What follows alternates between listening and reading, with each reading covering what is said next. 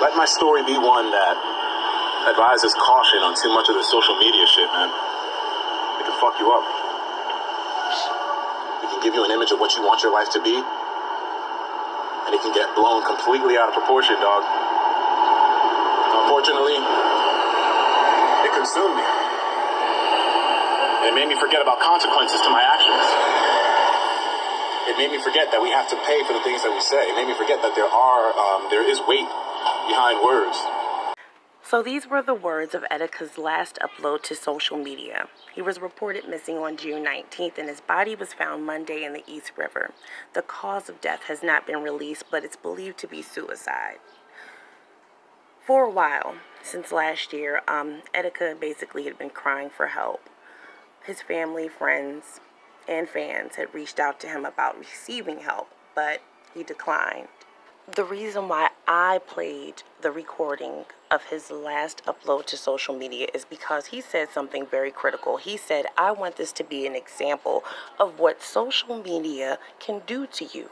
It will fuck you up. People get on here every day and misuse and abuse their authority, their popularity. They're trying to keep up with this image.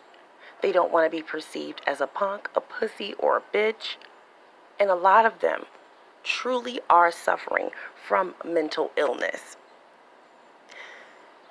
If you or you know someone who is in need of help, even if you get the slightest indication that they need some type of assistance, get it. Everyone's trying to keep up with this fucking street code that doesn't even really fucking exist. And as a result of that, they make bad choices and bad decisions. Here I've posted the number, the nationwide number to the suicide hotline. If you yourself are feeling suicidal, please call it.